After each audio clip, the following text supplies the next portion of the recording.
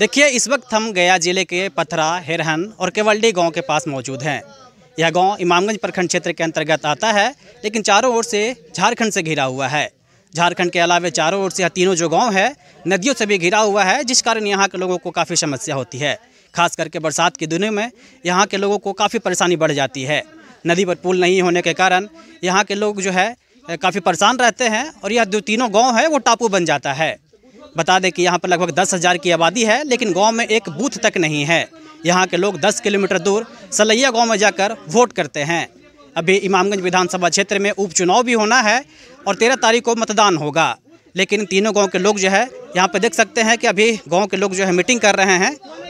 और मीटिंग करने के बाद यहाँ के गाँव के लोगों ने निर्णय लिया है कि इस बार जो उपचुनाव होना है, उपचुनाव में यहाँ के लोग जो है वोट बहिष्कार करेंगे। यहाँ के लोग हैं, हम लोगों से बात भी करेंगे कि वोट बहिष्कार करने का पीछे जो है क्या मकसद है और क्यों वोट बहिष्कार करेंगे इस बार? जी, अभी तक आज़ादी के लगभग पचहत्तर वर्ष बीत जाने के बाद भी यह तीनों गाँव विकास से जो अधूरा है, हेरहन, पथरा और केवलडी, यहाँ जब इलेक्शन आता है, विधानसभा या लोकसभा, तब यहाँ के लोगों को इस्तेमाल किया जाता है सिर्फ़ वोट लेने के लिए। और वोट लेकर के जब जाते हैं लोग तो पाँच साल यहाँ के लोगों का कोई सुध नहीं लेता है। जबकि यह तीनों गाँव टापू की तरह है। यहाँ बरसात के दिनों में लोगों को यहाँ हॉस्पिटल जाने के लिए विवश हो जाते हैं, जबकि यहाँ पर गर्भवती महिला को इलाज के अभाव में यहाँ दम तोड़ देती है।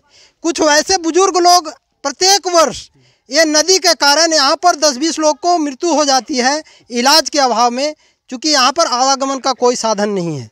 और यहाँ कोई भी पदाधिकारी या नेता मंत्री यहाँ कोई सुध नहीं लेते हैं और नहीं अभी तक लिए हैं। तो वोट मांगने के लिए तो लोग आते होंगे ना? वोट मांगने आते हैं लेकिन वोट यहाँ के लोग देते रहे हैं। क्योंकि जब वोट आता है यहाँ के लोगों को आश्वासन देता है और यहाँ के लोग जो हैं बहुत ही भोले भाले हैं सीधे साधे हैं उनके बातों में उनके जालों में आ करके वोट दे देते हैं लेकिन पाँच साल तक इन लोगों का कोई सुध नहीं लिया जाता है कोई चर्चा नहीं होती है। मांग क्या है आप लोगों की? हम लोगों का मांग है कि यहाँ रोड और पुल हो तभी हम लोग वोट देंगे। क्या नाम है आपका? हमारा नाम कृष्णा यादव चलिए और भी लोग हैं इनसे ही बात करेंगे। चाचा गाँव में बूथ भी नहीं है। वोट देते हैं कि नहीं आप लोग? बूथ तो जा कर के बारह चौदह किलोमीटर पड़ता है सलैया यहाँ से। अच्छा। वहाँ जाके दे देते हैं। कितनी आबादी है यहाँ पे? यहाँ पर लगभग पाँच हज़ार दस हज़ार आबादी है। तीनों गाँव मिला तीनों गाँव मिला करके दस हज़ार। यहाँ बूथ नहीं है? नहीं यहाँ नहीं है। पहले था। आज के करीब बीस साल पहले था लेकिन बीस साल से इधर अब बूथ उत नहीं रहता है। तो आप लोग गाँव के लोग जो है आज मीटिंग कर रहे हैं कि इस बार जो चुनाव होगा उपचुनाव होगा उसमें वोटिंग नहीं करना है। नहीं नहीं करना है। बहिष्कार हम लोग करेंगे। करेंगे मेन समस्या है हम लोग के पुल। अच्छा। ऐसा गोले नदी से तीनों गाँव घिरा हुआ है। चारों ओर से नदी है। अब यहाँ के करीब करीब कौन ऐसा साल है कि जब बरसात आता है तो गर्भवती महिला लोग के परेशानी मैंने मरिए जाना है इलाज के बिना। लोग पहुँचिए नहीं पाता है हॉस्पिटल कैसे जाएगा? क्या डिमांड क्या है सरकार डिमांड है सरकार से डिमांड हम लोग की यही है कि सबसे पहले पुल बनावे।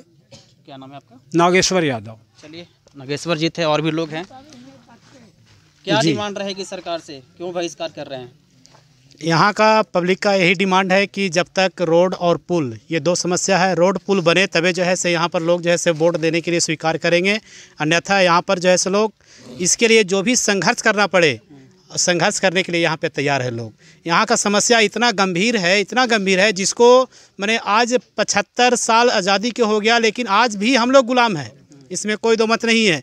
आज गर्भवती महिला की समस्या हो या फिर जो बीमार अगर अचानक बीमार पड़ता है उसकी समस्या हो। ये गोले तरफ़ से नदी है यहाँ पर ही। और उस नदी बरसात के समय में तो इतना बड़ा समस्या है कि यदि नदी आयल है तो वो आदमी बिल्कुल मैंने मर जाता है मर सकता है। इसके लिए कोई आवाज़ तक जो है से यहाँ पर ना कोई सरकार ना कोई नेता इसका आवाज़ भी नहीं उठाया। कितना दूर अस्पताल वगैरह कितना दूर हो गया यहाँ से? यहाँ से 26 किलोमीटर इमामगंज पड़ता है जो यहाँ अस्पताल पड़ता है यहाँ से दूरी।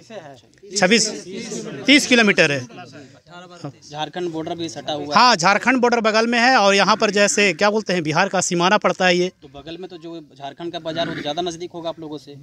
नज़दीक यहाँ भी नज़दीक नहीं है। आपका यहाँ प्रतापुर जो है से प्रतापुर लगभग वो भी तीस किलोमीटर पड़ता है यहाँ पर ही। चलिए देखिए और भी लोग हैं इन लोगों से ही बात करेंगे। मुखिया जी हैं। जी, मुखिया जी बताएँगे, गाँव के लोगों को क्या आश्वासन देंगे? आप मुखिया भी हैं यहाँ के। सबसे पहले आपको धन्यवाद। यहाँ एक नहीं, अनेक समस्या है। मुख्य समस्या पुल है। मोरहर नदी पर अगर पुल बन जाए तो यहाँ के नब्बे परसेंट समस्या को दूर किया जा सकता है। यहाँ हम लोग चुनाव जब जीते हैं, तीन तीन वर्ष करीबन हो गया है। तीन वर्ष में बराबर हम यहाँ समस्या ही समस्या देख रहे हैं। पहले भी आना आवागमन रहता था। आज अगर एक राशन लेने के लिए राशन दुकान भी यहाँ नहीं है। यहाँ कोई डॉक्टर भी अच्छा नहीं है। एक जिनको हम लोग झोला छाप डॉक्टर लोग कहते हैं हम लोग तो उन्हीं को भगवान मानते हैं। और वही डॉक्टर से हम लोग यहाँ के सब ज़िंदा हैं। कितने महिलाएँ? आप एक नहीं। आप मुखिया जी आपने क्या प्रयास किया यहाँ इसके लिए हम माननीय पूर्व मुख्यमंत्री जीतन राम मांझी जी से मिला। यहाँ पुल के समस्या को ले जाकर के बात रखा। लेकिन उसके लिए उन्होंने कहा कि ये झारखंड में दे देना चाहिए था। हम्म, झारखंड को देना चाहिए झारखंड को दे देना चाहिए था। अच्छा, गाँव को। को। अच्छा। यानी इसको सीधा सीधी बेच देना चाहिए था। जो पेपर में भी आया था उनका स्टेटमेंट पेपर में भी आया था। मतलब बिहार में नहीं मानते उसको कि इसको हाँ उनका उनका कहना है वैसे भी कुछ लोग इसको श्रीलंका के नाम से जानने लगे हैं। श्रीलंका कहा जाता है। श्रीलंका क्यों कहा जाता श्रीलंका इसलिए लोग कहते हैं कि चारों तरफ़ से झारख झारखंड है। नदी भी चारों तरफ़ से झारखंड है तीन तरफ़ से नदी है और एक तरफ़ से जंगल है। आने का कोई यहाँ रास्ता नहीं है। शायद आप आ रहे होंगे तो आपको जानकारी हुआ होगा कि किस तरह से यहाँ पर आए हैं। और भी गाँव के लोग हैं इनसे ही बात करते हैं। बताइए यहाँ पे विधायक जी रहे हैं दस साल जीतन राम मांझी जी। कोई आश्वासन नहीं दिया क्या? सबसे पहले मैं आपके चैनल को अपनी ओर से, अपनी तीनी, तीनों गाँव के जनता की ओर से स्वागत, अभिनंदन करता हूँ। यहाँ समस्याएँ तो अनेक है। मुख्य समस्या तो रोड और पुल का है, लेकिन यहाँ समस्याएँ अनेक हैं। रोड और पुल आज तक नहीं बना। आप खुद देखे हैं, आपको मैं लेकर आया हूँ। नदी में आपकी गाड़ी भी फंसी है। आप इसका उदाहरण भी हैं। इसको मेरा निवेदन आपसे रहेगा सारे जनताओं के तरफ़ से कि इसको ज़रा प्रमुखता से ये दिखाने का काम करेंगे। और रोड और पुल के अलावे यहाँ पीडीएस का दुकान आज़ादी की इतना बरस बीत गए। बीच में एक दुकान दिया गया था दो हज़ार पाँच पाँच में या छः चार या पाँच के आसपास। दुकानदार की मृत्यु हो गई, उसके बाद दुकानदार को दुकान को शिफ्ट किया दिया गया सलैया में। और तब से वो दुकान वहीं है, यहाँ कोई दुकान पीडीएस का नहीं है। हाल के दिनों में बरसात के दिन में एक दिखाया गया यहाँ का वीडियो। वो जो सामने का गाँव है मेरा हैरान का गाँव है। ठीक है?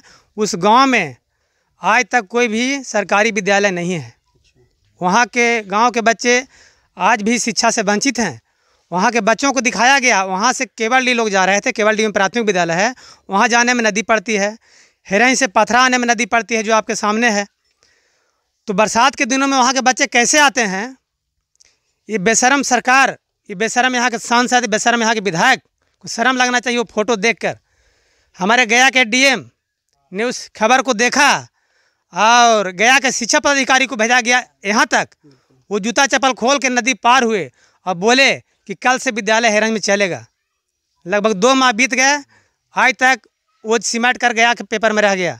फ़ाइल में रह गया गया कि डीएम के ऑफ़िस में पेपर पे फ़ाइल में रह गया। कोई सूद लेने दोबारा नहीं आया। वोटिंग नहीं करना उपचुनाव होना है। नहीं इस बार नहीं आज से तब तक हम लोग यहाँ के लोग वोट नहीं करेंगे।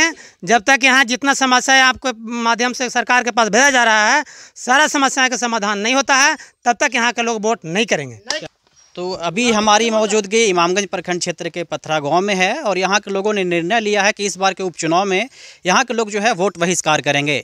जब तक यहाँ जो सरकार जो है पुल निर्माण का काम नहीं करती है या बूथ नहीं बनाती है, तब तक जो है लोग यहाँ वोट नहीं करेंगे। गया से लोकल एटीन के लिए कुंदन कुमार।